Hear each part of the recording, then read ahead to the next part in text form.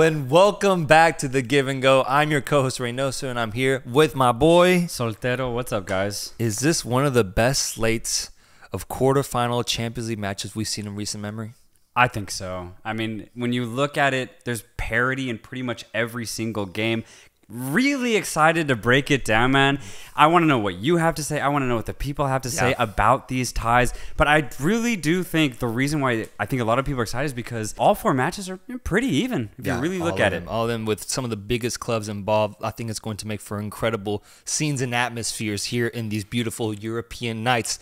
And so there's one matchup that we must start with the the star-studded matchup, the headline matchup here that so many people are already debating and arguing about. Yeah, it's Real Madrid versus Manchester City. And first off, I want to start with this. We have a lot of new viewers to this show. The Asian Cup gave us a lot of uh, mm. uh, viewers from a lot of different places in the world, and we just grown a lot in the past year. Last year was the first time that we actually covered the UEFA Champions League.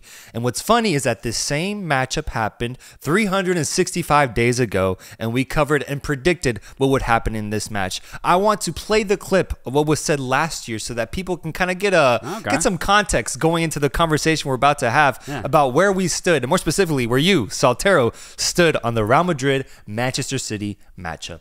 For me, it's not a question of who wins this game. It's a question of how badly does Manchester City beat Real Madrid, bro. I don't care how hot of a take it is, or how aggressive it sounds, or maybe low key how disrespectful it is. Because look, I understand Madrid know one thing, and that's how to win in the UEFA Champions League. I think finally there is a team that I have my absolute trust and faith in to topple that notion. And that is Manchester City. Probably the best team in form right now in all of Europe, definitely all of the world. I will write up a 10 page apology.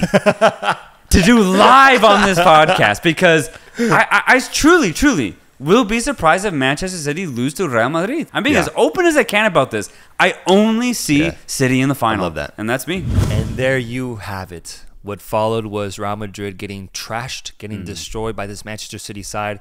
5 1 on aggregate. Manchester City then going on to the final and winning the tournament for the first time in their history.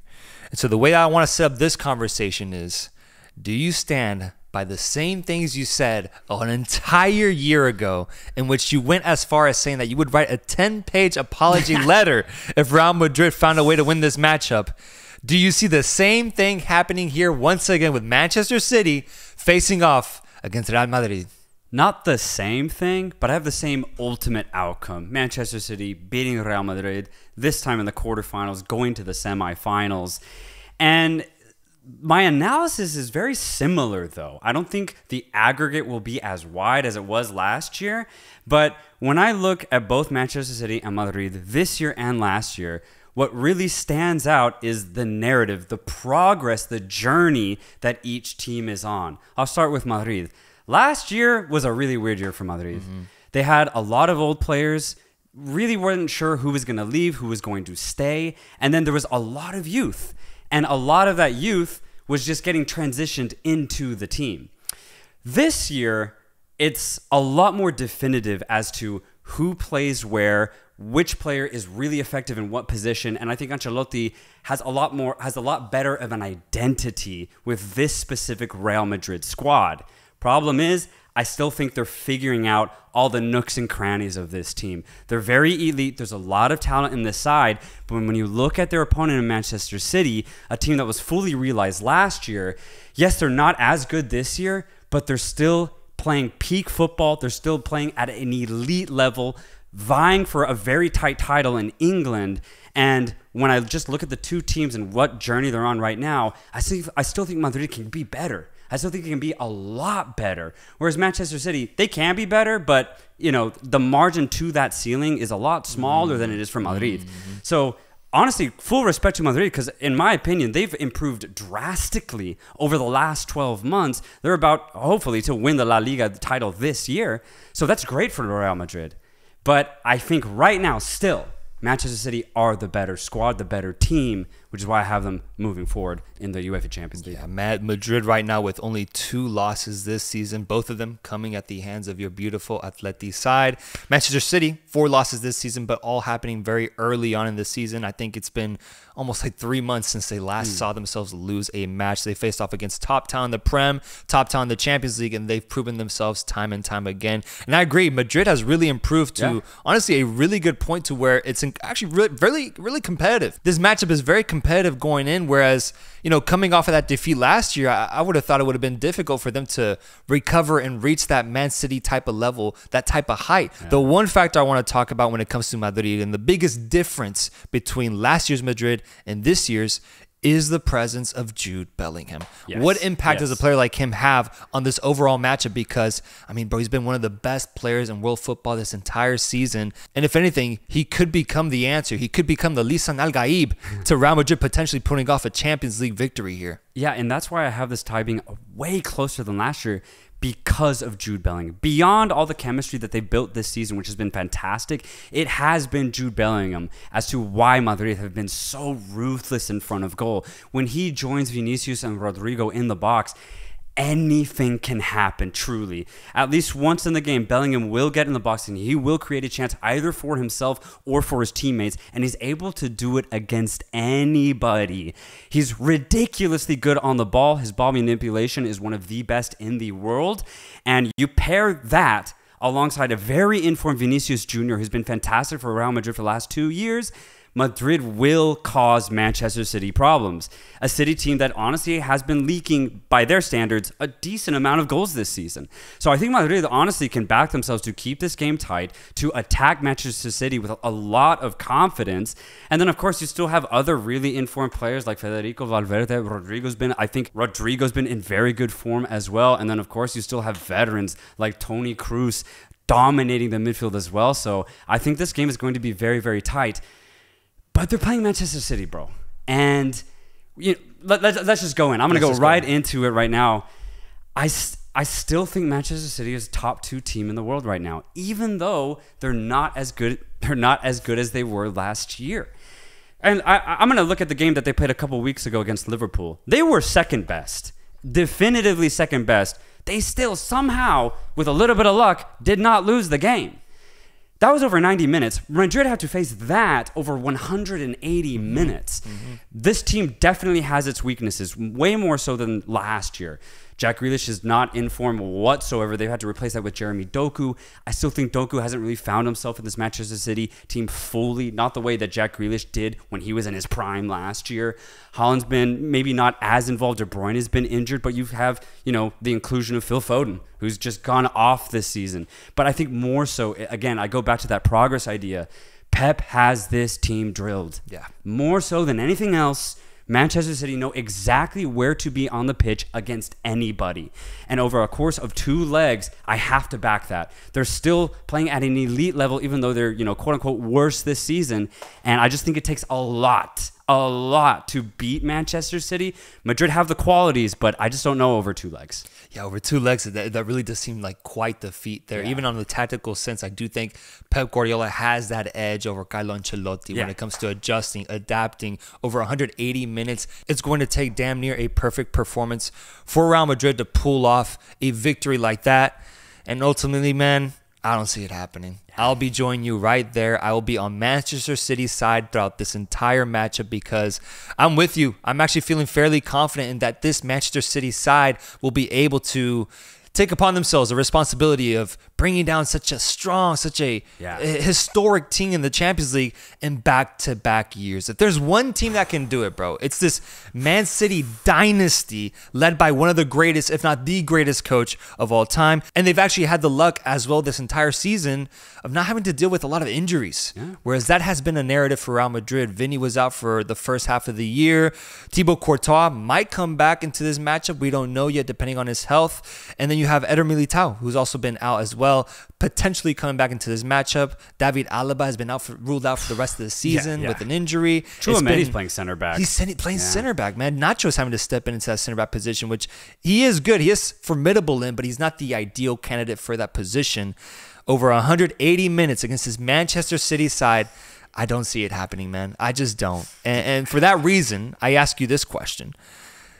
Sure, they won't dominate the way they did last year. That's what we're predicting here. They won't win 5 1 on aggregate. Yeah, but yeah, if they yeah. end up winning by a slightly smaller margin, does that mean then that your apology letter will be just a little bit smaller? Let's do let's let's negotiate a five page apology letter if Real Madrid wins. I'll write No, half. no, no, I'll no, write no, half no, of no, it. No, no, no. I'll write half There'll be no it. apology because I'm actually giving Madrid complete credit here. They had zero chance last year, zero, and it's crazy the amount of people that thought otherwise. that- that- this that's- year, you know, I'll I'll give him, I'll give him a double-digit percent chance. I might give Where him ten percent. Ten? Yeah, maybe. You don't want to go up to uh, twenty? I could go up to 20. Okay. I could definitely Meet go at up to 20. 20. I could Okay. go I can go up there because again, this Madrid team is way more informed and way more realized than last year. I just think that they can be a lot better. And Manchester City's Yeah. which is, you know, I mean they're at their peak slightly less than, but you know what would be crazy? When Real Madrid do lose to Manchester City, that's going to be back to back. Yeah. I didn't even think about that. Like The back to back, biggest team in Europe over the last 10 years losing to the same team. Oh, dude, as an Atleti fan, I want that nothing. I, I want that so badly to happen, bro. Because Ah, will low-key have their number at that point. I do think the fact that this will be their third year in a row facing off against each other makes this for already one of the better Champions League rivalries that we've seen in the knockout stages, man. Like I love it. I love that the fact that they got drawn into this in the quarterfinals because it's just I need to see this matchup. I need to to determine who is a better team.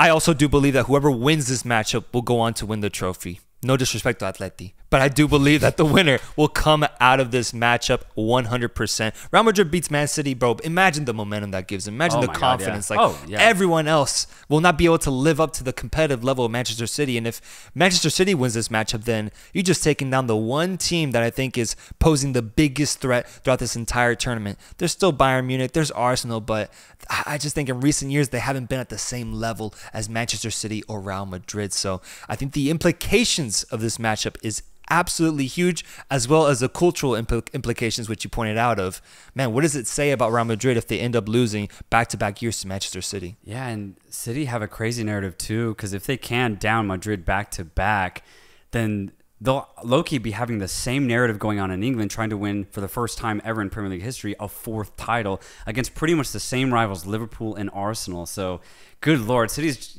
City has like a trail of fire right now that Yeah. they're trying to blaze through. It's kind of crazy. Does um oh, when I look at this Manchester City 11, I try to go through it and predict who would start. There's only two positions that I'm curious as to who would start. Obviously, up top you have Erling Haaland, and then behind him you have De Bruyne, you have Bernardo Silva, Phil Foden. Those three for sure. But that left wing position, will it be Grealish? Will it be Jeremy Doku? Or is there someone else, Julian Alvarez, perhaps getting in? Yeah, I see Doku or Alvarez. Alvarez low key lately has been coming off the bench. I think Pep will start Doku, but yeah, I just don't see Grealish starting for sure. Yeah. I, I just don't un- unless over the next like three weeks he somehow finds his form. But Yeah, and then the defensive midfield pivot I do see being Rodri and Stones, and then behind them it's also a question of right now I have Nathan Ake, Ruben Dias, and Kyle Walker, but does Akanji find a way into the lineup instead? yeah, that'll be really interesting. Does Pep slightly go with a more ball-oriented player like Gvardiol, or does he go with uh, Kanji as you said? I think lately, especially all season, this calendar year, he's been going with Akanji, so I think he'll just stick to that. But I mean, he benched uh, Dias for the Liverpool game. It did, he Yeah. did. But uh, that, that had kind of that had been happening this Mm-hmm. season. He's been benching Dias a decent amount. So that that didn't really fully surprise me here. But yeah, I, I bet he'll go with Akanji. Unless he really wants to change it up against Madrid. I don't see why he would. Yeah, and for Madrid starting 11, Vinny Jr., Rodrygo up top, Bellingham right behind them, then Kroos and Valverde. I think Tchouameni will be in a. I, I think, I assume that he won't be playing a center back position here with Nacho and Rudiger being the center backs. But for me, with Real Madrid, the question is the injuries. Does Eder Militao find a way back into the lineup after going almost the entire not playing football? Can he just step into a quarterfinal matchup against Manchester City like that? And Thibaut Courtois, how healthy is Yeah. he? Because he is back in training and he is such a class goalkeeper, but I don't know, mentally getting into the rhythm of the game to get put into a match like that, it's such the stakes are so big. I wonder if Ancelotti will be willing to take the risk of, you know, benching Lunin, who has actually been really solid in his uh, tenure here, um, for Courtois, who I mean, damn near won the trophy for Real Madrid a couple years ago against Liverpool. Yeah, and I, I really do wonder if going into this April fixture, if there really is no other center back option other than Rudiger, Tchouameni, and Nacho, will Ancelotti actually opt to purposely do Tchouameni in the center back position and try and open up the midfield and starting Camavinga instead? It's Hmm. worked albeit against weaker teams in La Liga, but it when it has worked, it, has been brilliant. Yeah. because Camavinga is so good at ball movement and ball distribu- distribution, low key, maybe even better than Tchouameni right now, like right now. So I think if Ancelotti wants to play a little bit more fluid of a midfield, he would do it. But is he going to be scared of Manchester City's offensive threat? If he is, then I could see him tightening up the midfield defensively by not playing Camavinga and then also putting Nacho in the center back position. Yeah. I could see that. It's Yeah. just gonna we're gonna really see how Ancelotti feels in this first leg by the lineup. Yeah, I will say Tchouameni I think has been good. He's been great. He's been good. Like they haven't Yeah. lost, so like he hasn't been a weak link by that No. sense. So I think that's been honestly really incredible. A great development for him. We knew he was great defensively, but to showcase himself in this manner, uh, if you're a Real Madrid fan, just yet another player that is so versatile, and so good, and so young. That's a great player to have.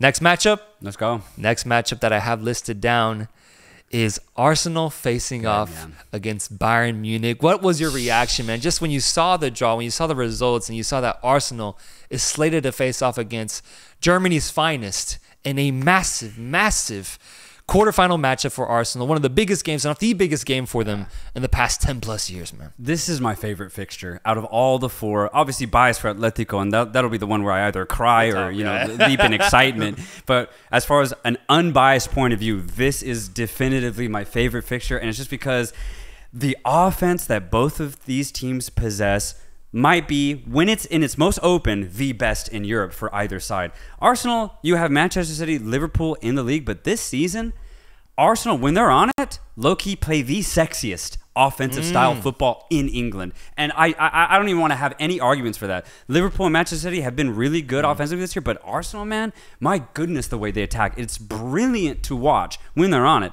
And for Bayern Munich, they ha- they average right now in the Bundesliga three goals a game. Three burgers? Three. Damn. It's they have 70, 78 goals in 26 matches. literally Lord. three on the dot. Yeah. It's ridiculous.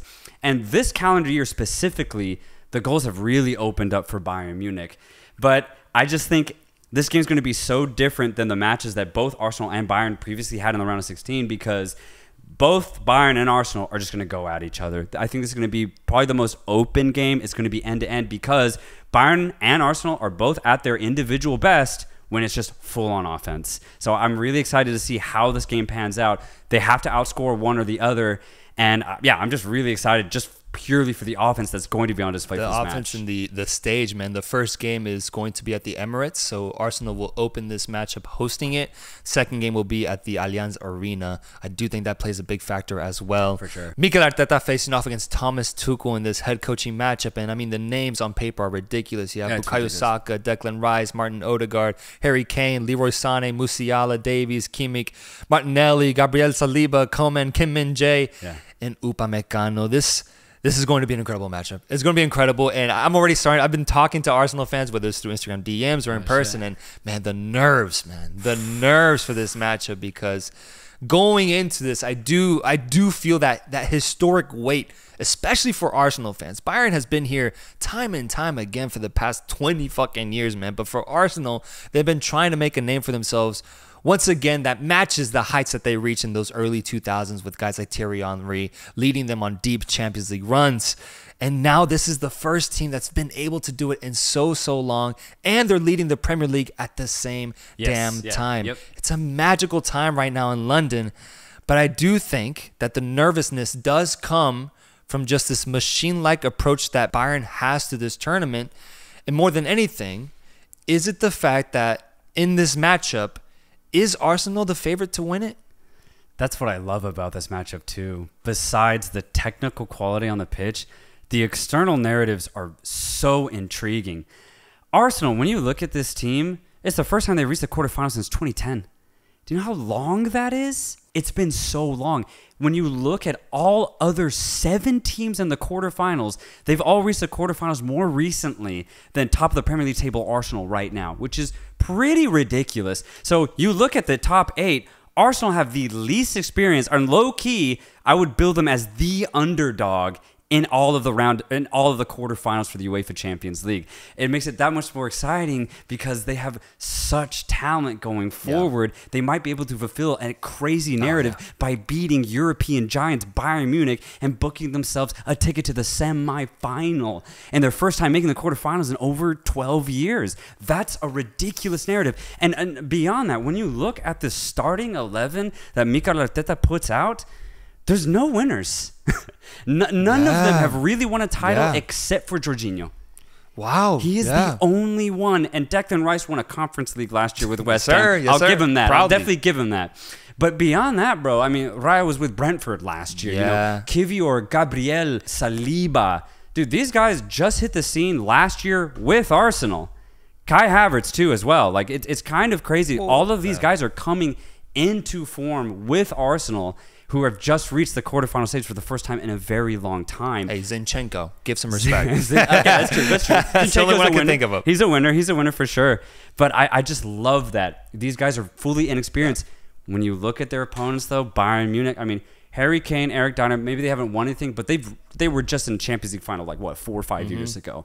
You look at Thomas Muller, one of the the, Jesus the almighty. definition of a veteran in modern football. He's seen it literally all, and he's also won it all. And then you have guys like Joshua Kimmich, Leon Goretzka, who just won it with Bayern Munich a couple years ago. You can say the same veteran uh, thing about Manuel Neuer as well. Davies? Da- yeah, Won it? Davies, Yeah. absolutely. Kim Min Jae won uh, the Serie A with Napoli.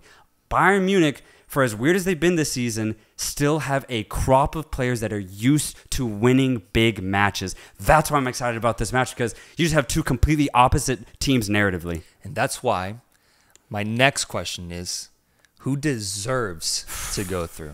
Based off the season that we've seen, Right. Arsenal leading the toughest league in the entire world and playing some sexy football when they're mm. at it, ending games by the 20th, 30th minute versus Bayern, who is having one of the worst seasons in their history.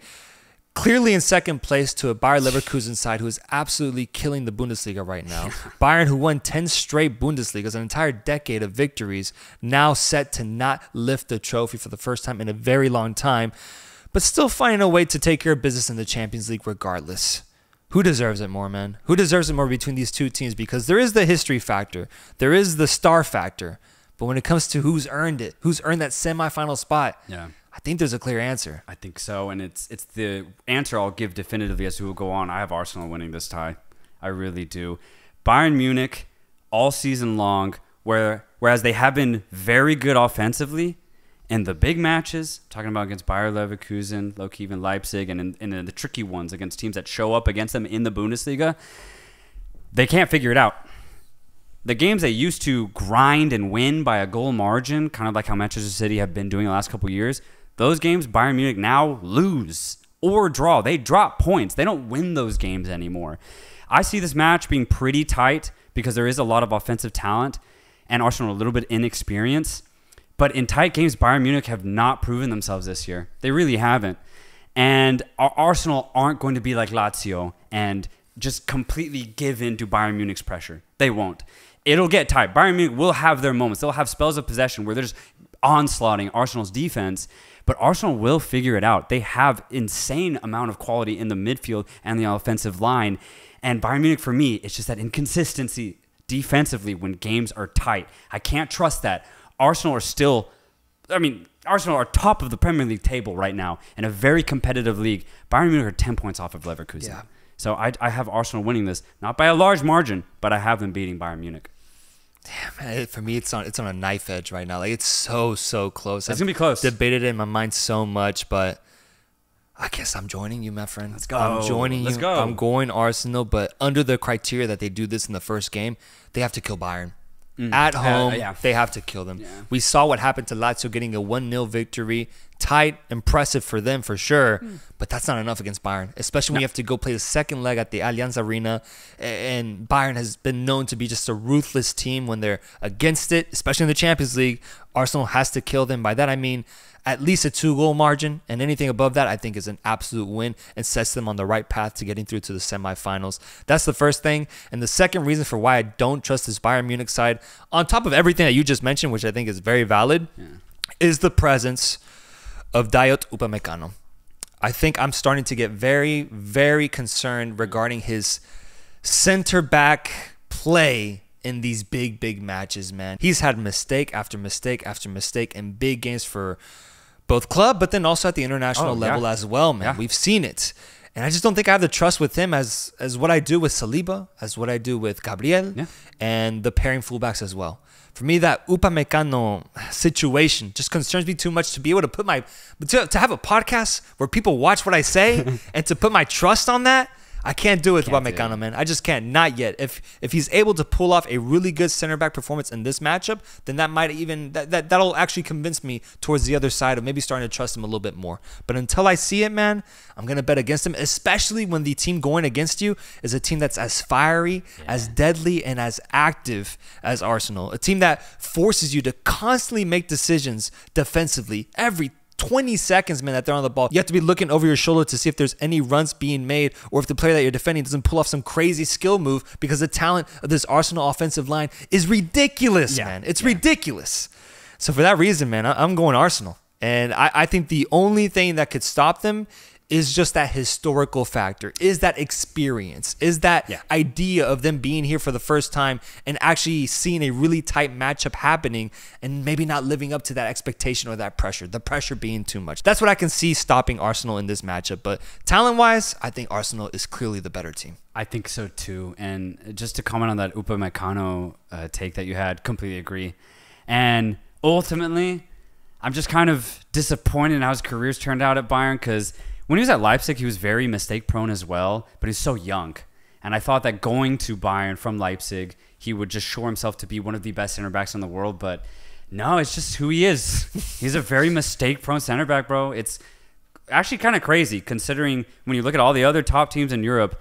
Uh, you could probably say Yeah. Upamecano is probably the worst center back out of all the top center backs at the top teams in Europe, which is yeah not good for Bayern. So much so that I think if Tuchel does this right, he should probably play Dier or Kim Min Jae alongside um, De Ligt. Like I would, I just wouldn't even play Upa Upamecano, and I'll be really curious to see what Tuchel does there because yeah. Tuchel knows he's playing one of the best offenses in Europe, in the world, in Arsenal. He can't mess around here. And, this is it for Tuchel, by the way. Th- yeah, this is that, that's this true. is it. This is it. And if he can't get a result here, then he'll end his tenure at Bayern with a little bit of respect, honestly. Yeah, yeah. So I think there's a lot riding. There's a lot riding a on lot, this man. game for There's both. Arsenal and Bayern. But yeah, just to end it with your exact take as well, I, I just really highly rate Arsenal's offense with the midfield and their combination with their offensive line, Martinelli or Trossard, Jesus or Kai Havertz, and then Bukayo Saka, Martin Odegaard operating underneath that. Come on, man. Ooh, Come it's on. exciting. That's exciting, Very bro. exciting. But I'll be really curious to see how this Arsenal team performs under the bright lights of Europe. Yeah, That's yeah. this is really going to be an insane, insane testament to what this team is made of. What I love though is I think Arteta knows this too. Mm-hmm. I tr- if there's a manager right now to trust and lead a young team like Arsenal, I actually would trust Arteta fully. So I'm really curious to see what his team talks have been the last couple weeks, what it will be the week leading up to that first game in the Emirates. It's gonna be nuts, man. I'm so excited for this tie, but yeah, just, I, I have Arsenal going through. And speaking of Arteta, coach that is is new to these experiences, is trying to make a name mm. for himself, but has a crazy, crazy situation at his hand here against Bayern Munich. Let's think of the opposite. A coach that is experienced, a coach that no matter who he has on the pitch is able to shape up some incredible matches against some of the toughest teams in the world and has seen himself bring these sides to Champions League finals.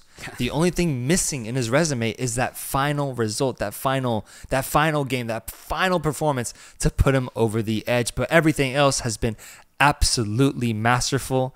And the man that I am speaking about is your father. Diego Simeone. Mm. Diego Simeone leading this Atletico Madrid side to another quarterfinal appearance after an insane, insane matchup in the round of 16 against the runners-up of last year's tournament, Inter Milan. Atletico is now slated to face off against Borussia Dortmund, the first game being at the Wanda, the second one being in Dortmund. We were talking about Arsenal and that being an exciting factor. I can't imagine the excitement that you have, that you're withholding with the potential of Atletico making it to another semifinal in the Champions League. Can you imagine that in this fucking ah. season that they've had? Ay, ay, ay. And my first question to you is before we even get to the predictions is if Atleti wins this matchup, are you going to the Wanda? I'm going to the Metropolitano. I'm going to do everything I can in my power. I'll spend $20,000. I don't care what it takes. If we get to the semifinal, I'm going to be there at the Metropolitano. And if I can't find my way in, I'll, I'll do whatever it Yeah. takes, bro. Yeah, yeah. I will do whatever it Yeah. takes. But, bro, ever since we've been Inter Milan before the draw, I've been shaking. Got the shakes. Get the shakes, bro. And I don't know if it's going to go away until that fateful night in Spain against Dortmund. And I'll just, yeah, I'm just going to go right into it. I've been dreaming of Dortmund, man. I've been dreaming of Dortmund ever since we've been Inter Milan. It was just a quick little one a day and a half before the draw. Yeah. And I think uh, thousands of other Atleti fans have been dreaming the same thing. Here's what's crazy though. I think Dortmund have been dreaming about Atletico too. And that's what makes this matchup so interesting because I see this as 50 50. I think either team has the same amount of reasons to beat the other, and I think either reason is very probable to occur. So this matchup is just going to be so even, but for very different reasons. They have completely different styles. The way Atletico can win, though, is if we bully them. That's how we beat Inter Milan at the Metropolitano. We use the physicality of our midfield, talking about players like Llorente, Rodrigo de Paul, Coque, Mario Hermoso, Savic, who like to go up and just put a body on any player that has the ball. That's how we're going to beat Dortmund. Nullify their fluidity in the midfield by bullying them physically. Now, here's the thing doesn't always work, right? And that's why Atletico have been not that great this season. It's why we lost that first game against Inter Milan because they found a way against that brutality, against that physicality. If we can't touch the opponent's midfield, we're stretched. And I think, unlike a lot of people think, Atletico don't put on defensive masterclasses anymore. That's not how we play. Instead, we just create chaos in the midfield, win the ball high up, and then from there, Griezmann can operate. And what an operator! Uh, Morata can finish a chance. Depay can come off the bench, finish a chance individually. Right? Lino can provide dribble penetration from the left-hand side. But we that only happens if we win our physical duels in the midfield if Dortmund find a way to pass around that midfield block, that's where they beat us. And that's where we're going to get beat if that does happen. It, it, it was just a little fortunate that, you know, Mkhitaryan, Barella, Çalhanoğlu got beat by that in the second leg. They couldn't make more than three passes after like the first 15, 20 minutes. We won that physical duel. If Dortmund can avoid that, that's how they'll win this game. Because when we get stretched, bro, we get stretched, man. We really don't have good one-on-one defenders. We play a back five, and the thing is, we don't have wingers. So we need Lino and Molina to go way up high when we do have offensive possession. That's also where we get caught because our rotation is shit. it's not that good, bro. Yeah, yeah, yeah. So if we get beat off the pass. We're going to get beat, man. And that, that's why I truly see this game as 50 50. That's what Barca did. Yeah, it's what. Yeah, exactly. Jesus. And there's also. that's what Barca did. And the, the, Twice. I say our second weakness as well, beyond if we don't win our physical duels, we get stretched. Our second weakness is sometimes we just don't show up. It's happened a lot this season. Anybody can beat us if we do not show up. My only thinking here is that this is all we have left. You know, we're out of the Copa del Rey. We've been out of the title race in Spain since December, November, honestly. This is all we have left. We just proved we can beat one of the better teams in Europe by beating the Italian champions, Inter Milan, and former runners up. We'll feel good about going against Dortmund, but my God, man, Dortmund have a lot of weapons too. That's the thing. Dortmund have a lot of weapons. They have a lot of quality in the midfield. They have good dribble, dribble penetration that could be provided from players like Jadon Sancho, Donyell Malen. There's a lot of good things about Dortmund, Mm-hmm. and yeah, this can be a crazy, crazy even game. There's a lot of similarities, man. When you look at this Dortmund side and Atleti, man, I, I I would consider Dortmund to be the German Atleti with how they're in fourth place right now. they're also not playing for much in the league, but in the Champions League, this is it. This is all they have, and Terzic has done a great job with this team. You know, we we criticized and we made fun, and all the jokes flew when they blew that lead to Bayern. But the truth is, they were a point away from pulling off Yeah. the incredible, and mm. that was thanks to Terzic and how he managed the team throughout the entire season. You have guys like uh, Niclas Füllkrug coming into this team, getting double-digit goals. Julian Brandt, I've mentioned before, as almost like a mini Martin Odegaard with his creativity Yeah. and his decisive and decisiveness in the final third. It's really good. It's really impactful. Malen, Marco Reus with his experience and his constant pursuit, almost like uh, the fucking Lord of the Rings, chasing that ring, bro. Like he's been chasing, Chasing a, a, a victorious trophy here, man, for so many years. Maybe he gets into the Champions League this time, man. Marcel Sabitzer in that midfield always been really reliable. And then at the back, you although a little bit old, you have a veteran in Mats Hummels who stepped up big time in that matchup against PSV. Dortmund will be a tough test, and I Oh, know you don't deny that. I know you I don't, don't. deny that, but I don't want to. I want people to be aware of that. That Dortmund is not. I know a lot of people were looking at them as potentially the most favorable matchup, and it isn't. You know, it is not like on paper. But I think that they still prove to be a really tough test, especially for this Atletico Madrid side, who you've already went through, and I'm not even going to touch on because you did that. You did that perfectly. The reason why I see Atletico Madrid going through here is the coaching factor. Diego Simeone, I think, is on a incredible run right now and is just so so tough to beat in a knockout setting in the Champions League. But then also the fact that Dortmund to me really disappointed in their matchup against PSV. And I know that sounds crazy because they won 3-1 on aggregate and you know, if you look at like the highlights of the games, it looks like they were actually pretty dominant. They generated like 15 shots on goal in in their last game against PSV at home. But to counter that, PSV generates 17, bro. 17 opportunities on this Dortmund side that were, in my opinion, really clear and weren't finished because PSV has some awful finishers on their team. Shout out to my boy Chucky Lozano. We've seen it for a decade. Hmm.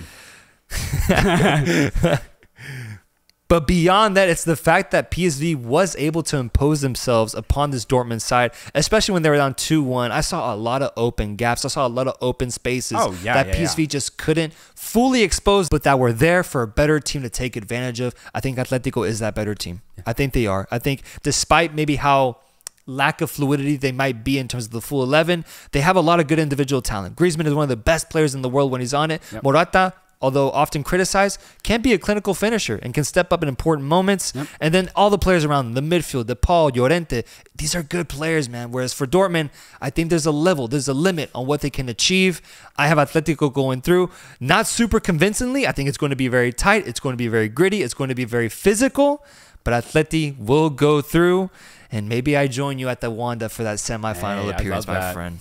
I would love that. And yes, just to make it very clear, I have Atletico winning this matchup pretty much for the same reasons that you said about Dortmund. I think they've, if Bayern Munich has been inconsistent in the Bundesliga, Dortmund's been twice as inconsistent. I think that will definitely show once or twice, maybe 10 times, in 180 minutes of football against Atletico Madrid.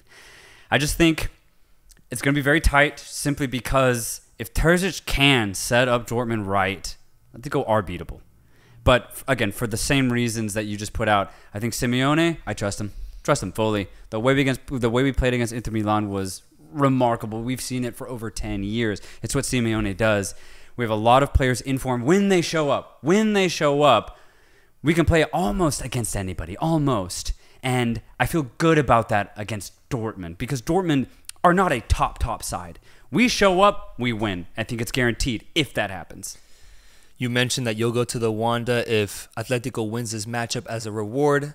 I will counter that by imposing myself this punishment if Dortmund ends up going through. Because if you look back on all of our predictions for this year, Yeah. Dortmund in the group of death, I had them going out, they go through. Same. Dortmund against PSV, I had them going out, they go through. Dortmund in the quarterfinals, defeating Atletico and going through to the semis, that deserves an apology letter from Reynoso. Mm. I'll write a five page letter apology. I'll read it here on this podcast and I'll submit the photos online into a database where you can read the letters every single time whenever you want. We'll send it to Dortmund. And we'll send it to Dortmund We'll put it in their mailbox. and we'll do something. But I do think that is rightfully what a Dortmund fan deserves because I Yeah, have man. spoken badly about them this entire season after the heartbreak they went through last year, and they have proven me wrong so far. And now here they are against Atletico Madrid in a quarterfinal matchup. There's a chance they go through, bro, and they find themselves in a semifinal Champions League appearance. I'll give them their credit. Dortmund in the semifinals. I will write that apology letter. I promise. Doesn't that sound crazy though? It sounds crazy to me. though. Dortmund Like, in the it's great. Like this, this. Dortmund team this year in the semis is right. nuts. It's nuts, man. Last year definitely could. I honestly could have seen it. They played good football when they were at their peak, but this year they've just been so inconsistent for them to make a semi, be a top four side in Europe. And the way the bracket's set up, they could be in the um, final afterwards. Yeah, yeah, yeah. They could be in the final At that point. I mean, Dortmund could do anything, bro. Yes. And that just would have to be absolutely nuts. For those who might not know, the way the bracket is set up is Arsenal and Bayern, Real Madrid and Manchester City are on one side of the bracket, Atletico and Dortmund and PSG Barcelona are on the other. And it's fixed. Those are the matches that are going to be facing off against each other. If Atletico wins and Barca wins, it's Atleti Barca in the semifinal. If Madrid and Arsenal win, it's Madrid Arsenal. There is no switching up anymore like it was in the round of 16s. And so this side of the bracket for Atletico is a much more manageable side, in my opinion, versus having Arsenal, Real Madrid, Man City, Bayern all on one side. That to me sounds really, really deadly. It's a little bit more open here on the, this other side of the bracket. And to finish off the bracket, the last match we have to speak about is PSG, Paris Saint Germain, hmm. facing off against Barcelona.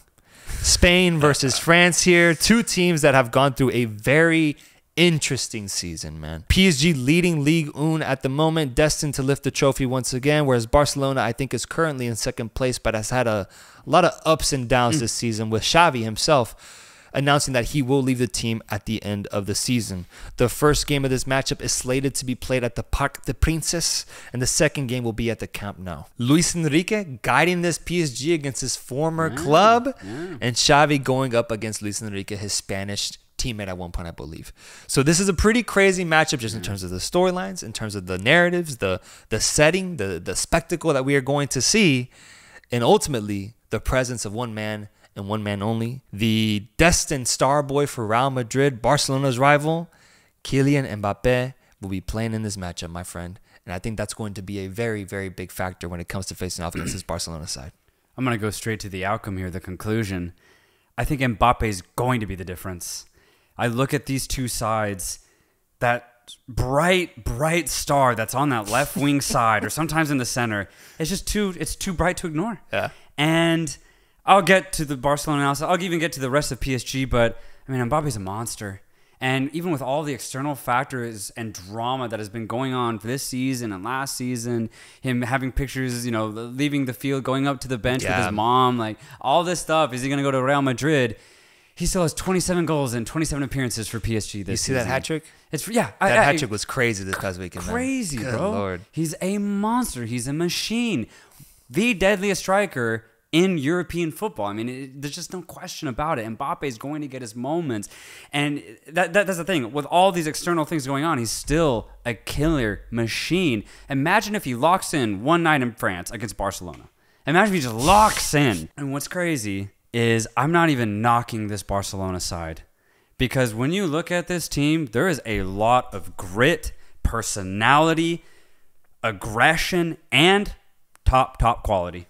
I mean, you look at their back line, I don't think they're going to really struggle against this PSG offensive line. There's, some really good talent, even outside of Mbappe, but Jules Koundé going to have a really tough task to face Mbappe. Here's the thing I, I honestly think Koundé is one of the best defensive right backs in the world. I trust him to handle Kylian Mbappe. And then on the left hand side, of Joao Cancelo is back, I mean, you have one of the best passing left backs in the world. And then Pau Cubarsí has slotted in to this Barcelona backline like he's been there for five fucking years alongside Ronnie Araujo. They're fine defensively. I trust Barcelona, Yeah. honestly. Let's go up to the top for them to score against this PSG side because they definitely will, man. Rafinha's been he's been good. He could be a little bit better, but he'll always create havoc on that right wing side. And then you still have players like Lamine Yamal who can come off the bench or low key start. The amount of dribble penetration and chaos that he's going to create is going to be a nightmare for PSG. On the other side, you have players like Joao Felix who's so cheeky, so tricky, and Lewandowski has honestly been immense this year for Yeah, playing Barcelona. He had a really quiet start from like September to Yeah, December, but yeah. my goodness, this calendar year, Lewandowski has popped the fuck off, man. Two assists, one goal against Atletico this past weekend. Each moment was sheer brilliance, Sheesh. bro. Yeah, bro. Yeah, sheer brilliance. Lewandowski, he may not have the same physicality that he once had at his peak or his prime, but it's all still there. He has one of the highest IQs in Europe. His execution is still fantastic. You give him a chance in the box, whether it's in front of goal or off the pass, Lewandowski's going to put it away. So Barcelona have a really good offense, a very good offense. I do think though they're going to need De Jong. They're going to need De Jong in the midfield. Yeah, yeah. If you don't have De Jong, all you'll have is Gundogan, which is uh, amazing. You, you're going to need Gundogan for sure. No Gundogan, no party for Barcelona. So you need Gundogan, but you need another class midfielder alongside him. Fermin's been good. Sergio Roberto has been good, but you know against you know just weaker sides, against a team like PSG, you want to dominate that midfield. I think you can if you have Frankie back, and you obviously Gundogan is you know operating in the midfield. So I, I basically just said Barcelona going to win this whole fucking thing. That's the thing. The difference is Mbappe. That's the difference. And I think it's a big difference because if you look at the PSG side, without Mbappe, I don't think it's that impressive of a squad. No, it's not. Whereas for Barcelona, you just made some great points, man. Like, and, and to add on to that, I think the reason for why I agree that they have a lot of grit is because of the injuries that they've gone through this Right. year. No Pedri, no Gavi. De Jong has now been out for a while, Mm. and they just find a way to stay consistent, to stay getting results, especially against top teams, not named Real Madrid, essentially. Like they still know how to play against the top teams in the world, despite starting a 17 year old center back and a 16 year old winger up top, man. It's ridiculous, like how they've been able to do that. And I do give credit to Xavi. I give credit to the entire club because when they won their round of 16 matchup, I said I said this on the show last week that I'm actually really impressed hmm. with Bar- with what Barcelona has done so far, given the circumstances that they've faced leading up to this point in the season. So all credit to the man, and I'm coming from a really positive place. My heart goes to Barcelona. It's just a damn shame that on the other side of the pitch is, in my opinion, the best player in the world right now. I think that's what he's capable of. Exactly. Mbappe is pursuing his first Champions League trophy and what is going to be his final year at PSG. I think he's going to leave it all out on the pitch, man. And I don't think he's going to be forgiving this time around, especially with the fact, with the narrative, this is soon going to be his rival team once he's at Real Madrid, man. It's actually kind of scary, and I'd be worried to, I'd be having nightmares of Mbappe if I was a Barca fan because of the things that he might do to y'all. But yes, PSG as a whole, I criticized them at the beginning of the year because they started such a young midfield, man, with guys like Vitinha, who's only like 22 years old, Yeah, and young. Zaire Emery. They're very good, but the responsibility that Enrique puts on them, I mean, they're the midfielders for them now. Whereas you don't have a, a Gundogan type level player. You don't have a Frankie exactly. de Jong who is older than both of them Yeah. on that in that midfield, man, to to service Mbappe and to be able to handle the pressure of top midfields of other clubs. They've been great so far, but I do think that's going to expose itself a little bit in this matchup. Defensively, I do think PSG is good with Hakimi in that wingback position. Yeah. Lucas Hernandez has been great as a center back. Yeah. They've been playing the 20 year old Brazilian uh, Beraldo a lot. He's been getting a lot of minutes. And then uh, Donnarumma at the back, who's one of the best goalkeepers in the world. Up front, Kylian Mbappe paired up with Kolo Muani, who's also been having a really solid season so far after his great year at Frankfurt. And then you have the surprise factor of a guy like Kang-in Lee. If he comes off the bench or he starts, he's always looking to assist. He's always looking to feed his star boy in Kylian Mbappe. There's some interesting factors to this PSG team.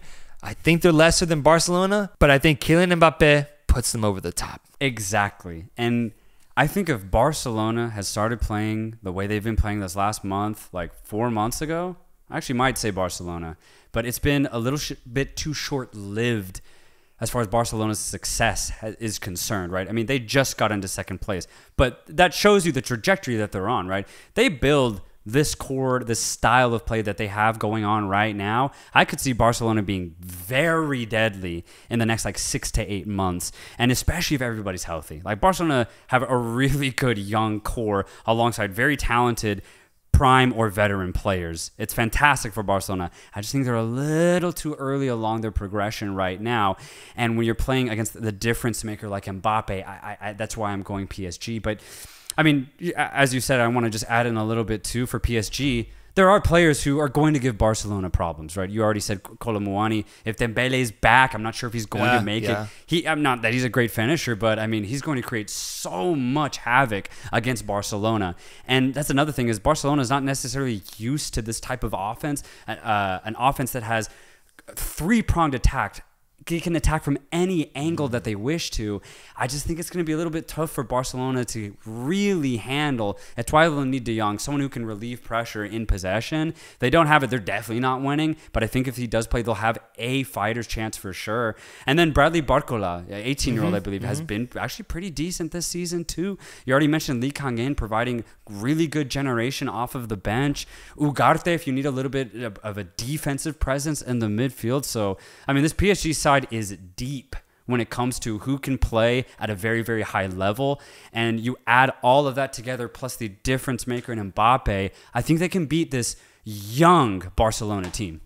Is it an is it a limited analysis though to just say that Mbappe is going to be a difference maker in the sense that what if he gets what if he gets frozen out this game? Right, then right. what? Yeah, that'd be crazy. Yeah. I just haven't seen it happen in uh, like really, really big, big matches. true. Like where he just gets com- like if PSG do lose, I would th- think that it would be because the rest of his teammates let him down. You already said it. It's a very inexperienced midfield for PSG. I mean, they used to have a star-studded midfield. What's weird is that there might be more balance now because there's almost no ego in the midfield, mm-hmm. but they're very inexperienced. And low key, I again, we've already said it. Barcelona have a better midfield. Defensively, they're great. I would say they line up perfectly against Barcelona. So then it has to come down to Mbappe being the difference. If that's not the difference, then somebody fucked up in the PSG midfield or defense. Well, that's what I'm going to put it on. It's on like the water boy, like the fucking assistant coach. Like you got something wrong, man, that affected the whole lineup to Kylian Mbappe. Yeah, and uh, just to be very clear, because I don't know what people are going to think, but I'm not saying this is going to be a clear cut win for PSG. I think it's actually going to be pretty tight. We already gave the reasons why Barcelona are going to make it tight.